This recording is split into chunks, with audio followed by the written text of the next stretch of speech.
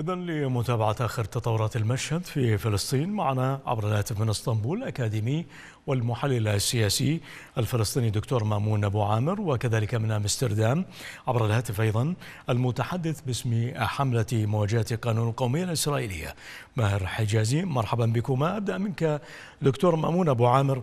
إذا في اليوم الثالث والخمسين بعد المئة من عدوان الاحتلال آه، معنا إذا جاهز آه، أستاذ ماهر حجازي. حياكم الله مرحبا بكم. في اليوم الثالث والخمسين أستاذ ماهر بعد المئة من عدوان الاحتلال على غزة تستمر آلة الحرب الصهيونية في ارتكاب جرائمها ضد المدنيين. آه، كيف تصفون استمرار هذه الجرائم على الرغم من حكم محكمة العدل الدولية وقراراتها حتى الآن؟ نعم بداية تحية لك وللسادة المشاهدين. يعني حقيقة هذا الإحتلال الإسرائيلي لم يعر أي اهتمام بما صدر من قرار من محكمة العدل الدولية فيما يتعلق بمطالبة الإحتلال الإسرائيلي بتقديم أو باتخاذ إجراءات لحماية المدنيين. للأسف القرار لم يكن ملزما لهذا الإحتلال الإسرائيلي ويدعو بشكل مباشر إلى وقف هذا العدوان وبالتالي الإحتلال يواصل عدوانه. آه، ضد شعبنا آه، الفلسطيني ويرتكب المجازر وجرائم الاباده بحق شعبنا. آه، في مشهد تصاعدي يعني الإجرام يتصاعد نصل إلى مرحلة يستخدم فيها الاحتلال الإسرائيلي سلاح التجويع لقتل أبناء شعبنا لحرمان شعبنا وخاصة الأطفال والنساء وكبار السن والمرضى من الدواء والعلاج.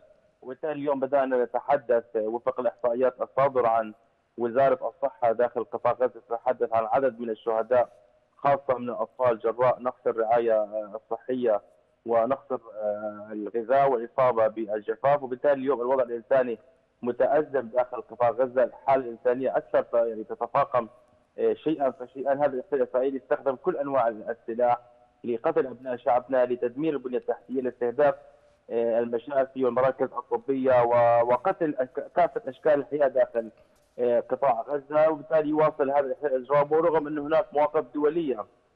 تطالب نعم. بوقف هذا العدوان على شعبنا داخل قطاع غزة وتطالب الاحتلال الاسرائيلي بالسماح بإدخال المساعدات. ويعني وللاسف يعني الاحتلال الإسرائيلي يرتكب آه، يوميا المجازر من خلال قصف آه، المساعدات الغذائية وقصف المدنيين خلال محاولته للحصول على لقمة العيش.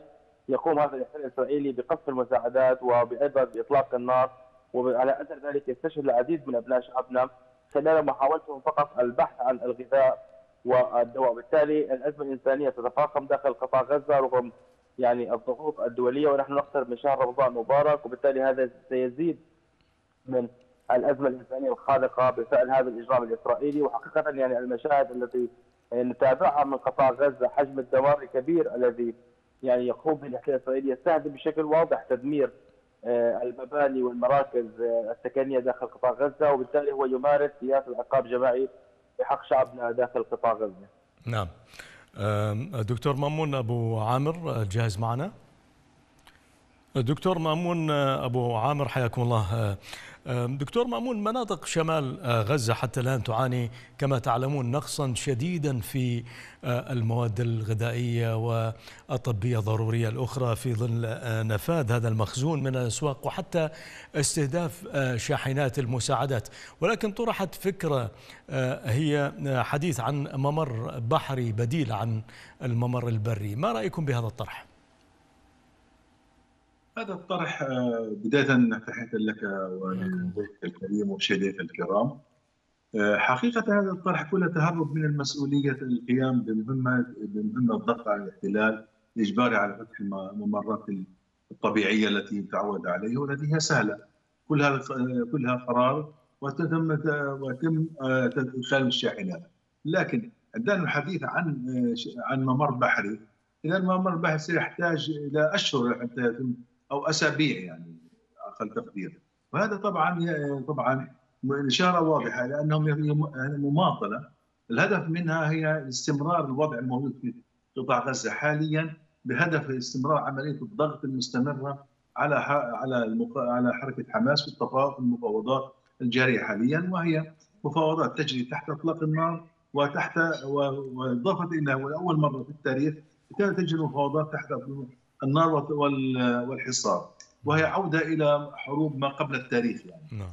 آه، وهذا طبعا يعني مؤشر واضح إن الاحتلال يعني لا وحلفائه الذين يقترحون هذه الاقتراحات يماطلون ولا يريدون أن يقوموا بواجبهم الأخلاقي لإجبار الاحتلال والضغط على الاحتلال في قيام بواجبه الإنساني حسب اتفاقية جنيف الرابعة والاتفاقيات المعدلة عام 74 كل ذلك كل ذلك واضح تماما أن العملية هي هي مكر وخبث وليس ليس لها علاقة بتقديم خدمات المواطنين. طريق خدمات سهله جدا آه، وأمور بسيطة جدا. إما أن يسمحوا من معبر من رفح إذا كان هناك إعاقة من الجانب الإسرائيلي بسبب لا يريد أن يزعج المتظاهرين الإسرائيليين. يمكن أن يدخل المعبر في مصر ويقوم ويقوم أجهزة الرقابة والتفتيش. تراقب في المعبر المصري أجهزة دولية يعني نعم. وممكن أن يكون هناك آه، في داخل المعبر الفلسطيني كل ذلك يمكن يمكن ترتيب هذا الأمر لكن هم لا يريدوا لا يريدوا أن أن يرفعوا الحصار ولا يريدوا أن أن تنتهي الأزمة الحقيقية في قطاع غزة حتى تنتهي المهمة السياسية وهي آه، وهي إجبار حماس على توقيع اتفاق كما يريدون. آه، من هنا أيضا أستاذ ماهر بات مفهوما وواضحا أن حرب التجويع هذه التي تمارسها سلطات الاحتلال على آه، أبناء غزة وبقية المدن هي الهدف منها إضعاف الحاضنة الشعبية وإفقاد المقاومة حاضنتها الشعبية. إلى أي مدى تحققت هذه الغاية أو هذا الهدف على حساب طبعا أرواح المدنيين الفلسطينيين؟ هذه السياسة الإسرائيلية العدوانية هي من اليوم الأول يعني في هذا العدوان الذي شنه الاحتلال الإسرائيلي على قطاع غزة.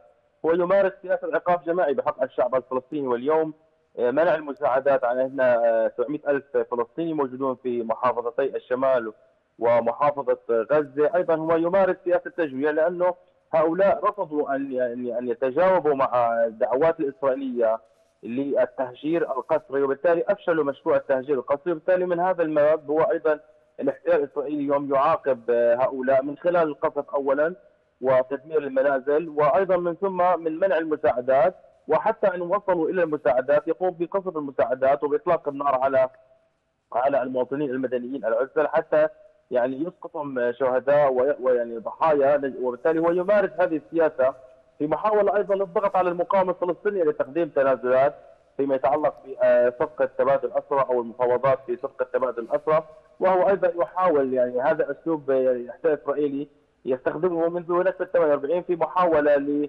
يعني محاربة الشعب الفلسطيني وحقه في الدفاع عن نفسه ومحاولة أيضا إسرائيلية في إطار يعني ضرب الحاضنة الشعبية للمقاومة الفلسطينية لأن الحاضنة الشعبية هي شيء مهم واستراتيجي يعني في دعم المقاومة الفلسطينية وبالتالي هذا الاحتلال الاسرائيلي يحاول من خلال سياسة القصف والقتل والتدمير واليوم الحصار والتجويع إلى ضرب هذه الحاضنه الشعبية ولكن حتى هذه اللحظة لم يستطع الاحتلال الإسرائيلي. يعني وفق التقديرات ووفق ما نتابع ونشاهد. وما يخرج بالرسائل نحن ابناء شعب داخل قطاع غزة يعني رغم القصف والتدمير والقتل والتشريد والتهجير إلا أن شعبنا الفلسطيني حتى هذه اللحظة يعني قدم تضحيات جسيمة وكبيرة آه، في هذا العدوان الإسرائيلي لكن واضح أن شعبنا الفلسطيني لا يزال يؤمن بخيار المقاومة الفلسطينية.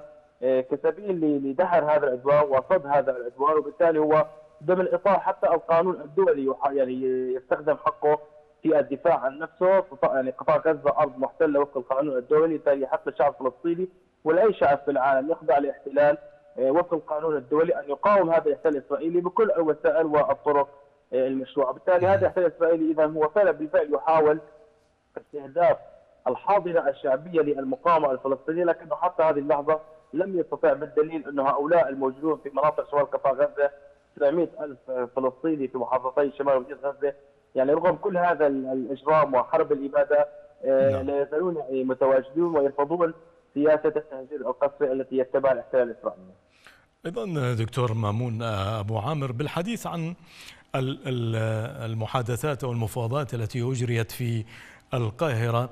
على الرغم من حديث حماس عن مرونة ربما أبدتها في أثناء مقترحات الوسطاء ولكن هذه المفاوضات مفاوضات القاهرة يبدو أنها انتهت من دون إحراز أي تقدم. ما الذي برأيك أخفق أو منع عقد هدنة قبيل شهر رمضان المبارك؟ أعتقد أن المفاوضات يعني لا يمكن الحديث انها انتهت المفاوضات، المفاوضات لا زالت جارية لكنها متعثرة. بسبب الاشتراطات الإسرائيلية التي لا أساس لها من في كل أي اعتبار من الاعتبارات. آه، المفاوضات آه، يعني هي متعسرة بسبب آه، أن نتنياهو أصلا هو لا يريد أن يصل إلى حل. هو يريد أن يفرض رؤيته ووجهه نظره في أي في هذا في هذا المجال. ويريد من خلال هذه المفاوضات أن يحقق انتصارا على المقاومة لم غير مستحق. وبالتالي وبالتالي هناك يعني شعور مزهوا بحجم الدمار الذي يفرض على قطاع غزة آه، والقتل والتدمير الذي والحصار الذي يفرضه على قطاع غزة. كانه يحقق انجازا عمليا في هذا الأمر مدعوما طبعا بالدول الغربية وخاصة الولايات المتحدة الأمريكية. وبالتالي هو يريد أن يعني بكل هذا التحالف يريد أن يفرض على حركة حماس في قطاع غزة 360 كيلومتر مربع. عدد السكان 2 مليون و3 من عشرة 30 أو 50 ألف مقاتل. أمام أمام نصف مليون مقاتل جيش جيش الدفاع الإسرائيلي. وحلف الأطلسي من خلفه تقف حملات الطائرات من خلفه. يريد من هذه خلال هذه المعادلات المعادلات أن يفرض آه، إرادته. لكن الشعب الفلسطيني آه، صامد بالرغم كل الحصار والألم والمعاناة. والمقاومة لم لم تسلم ولم ترفع الرايات.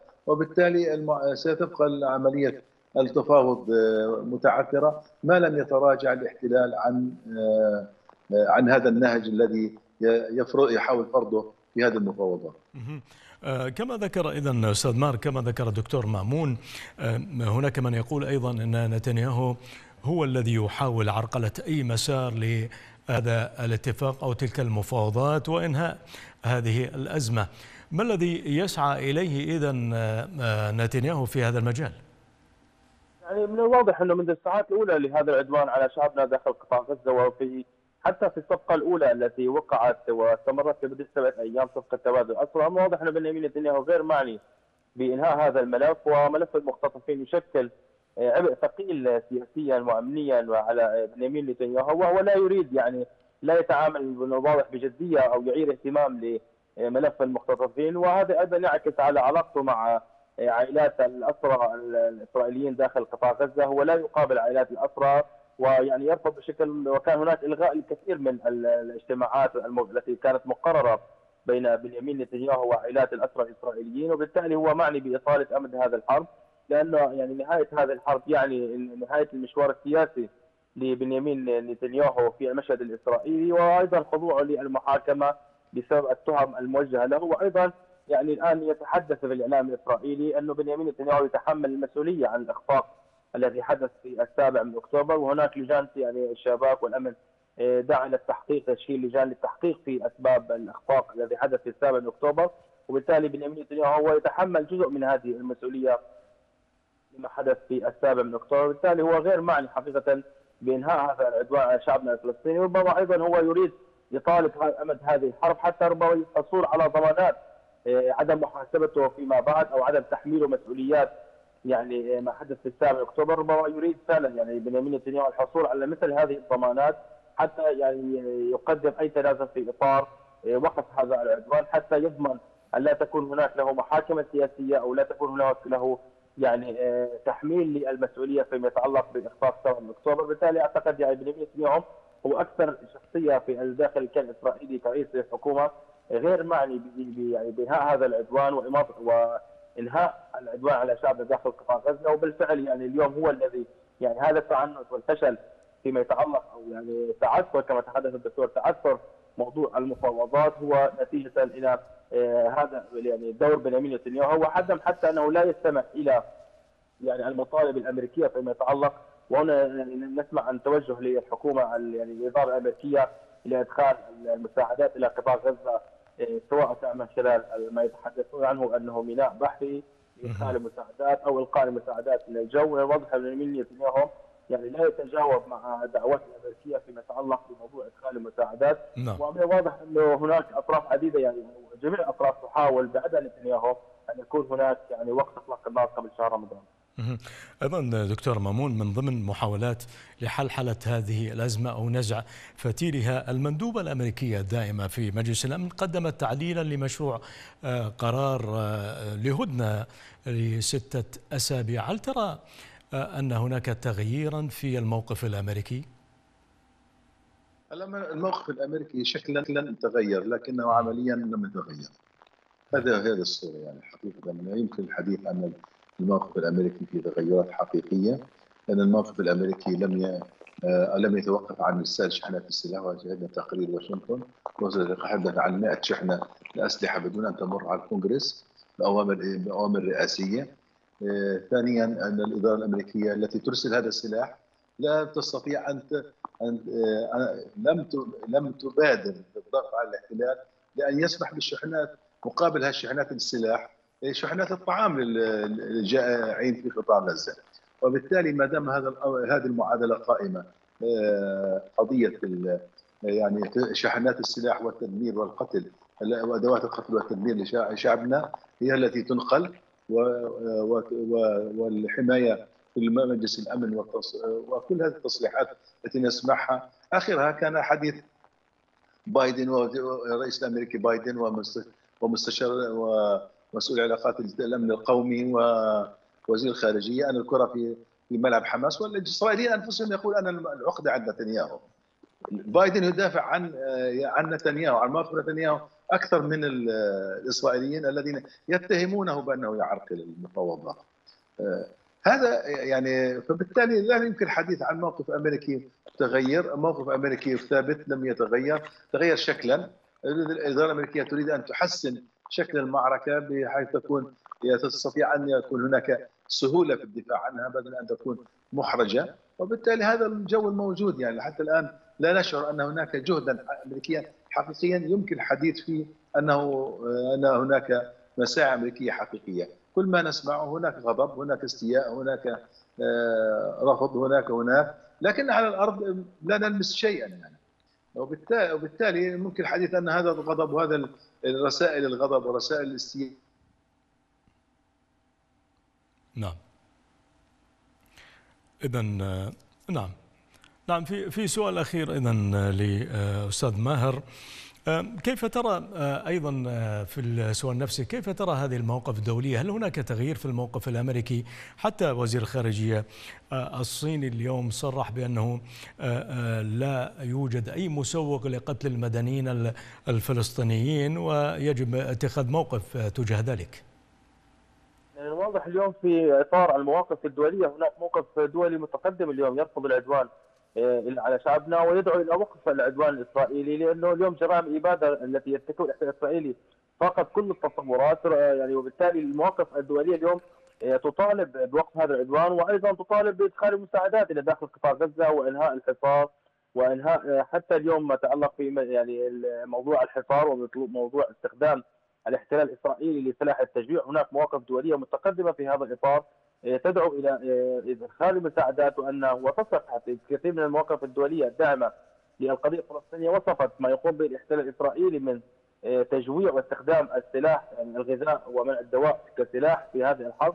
هو جريمة إبادة وبالتالي الموقف الدولي اليوم يتغير في إطار انه اليوم هو ضروره وقف هذا العدوان على شعبنا خاصة يعني مع قرب شهر رمضان.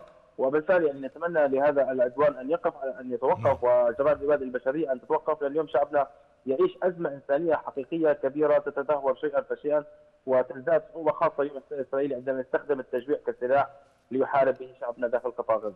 اذا الاستاذ ماهر حجازي من أمستردام متحدث باسم حملة مواجهة قانون القومية الإسرائيلية شكرا جزيلا لك كذلك أشكر ضيفي من إسطنبول عبر سكايب الأكاديمي والمحلل السياسي الفلسطيني الدكتور مأمون أبو عامر.